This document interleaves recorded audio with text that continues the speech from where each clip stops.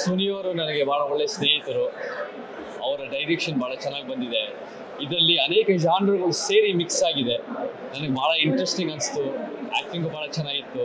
ಅದರಲ್ಲಿ ಸಿನಿಮಾಟೋಗ್ರಫಿ ಮತ್ತು ಲೊಕೇಶನ್ಸ್ ಭಾಳ ತಂಪಾಗಿ ಇರುತ್ತೆ ಕಣ್ಣಿಗೆ. ಈ ಥರ ಒಂದು ರೀತಿ ಕ್ರಿಯೇಟಿವ್ ಆಗಿ ಹೊಸ ಪ್ರಯತ್ನ ನಮಗೆ ಬೇಕಿರುತ್ತೆ.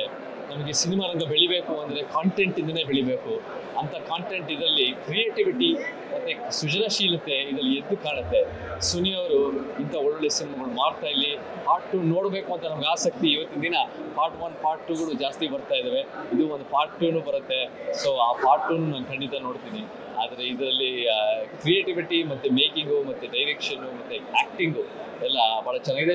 ಮ್ಯೂಸಿಕ್ಕು ಭಾಳ ಚೆನ್ನಾಗಿದೆ. ಸೊ ಆ ನಿಟ್ಟಿನಲ್ಲಿ it was a wonderful enjoyable experience ಎಲ್ರಿಗೂ ನಮಸ್ಕಾರ. ನ್ಯೂಸ್ ಫಸ್ಟ್ ಪ್ರತಿಕ್ಷಣ ನಿಮ್ಮೊಂದಿಗೆ